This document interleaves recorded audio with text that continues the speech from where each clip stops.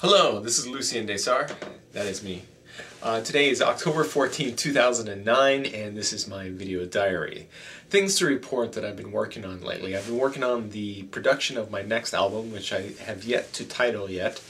Uh, I think I have approximately four tracks that are uh, pretty much finished to be composed. I'm working on the fifth one right now, probably working on some of it tonight and probably by the weekend I'll have uh, five tracks done. And then I actually go to the actual studio and uh, lay down the final vocal tracks uh, for all the pieces that I'm going to be placing on the album.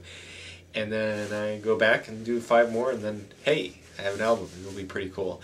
I'm waiting right now for a uh, to do the soundtrack for the film Stiff uh, which is still currently in uh, production and editing. As soon as that is done it's going to be coming my way and I'll go ahead and be doing that uh, other things that I'm working on, I have a show coming up in Salem, Massachusetts. Uh, I believe it's November 7th. It's a Saturday.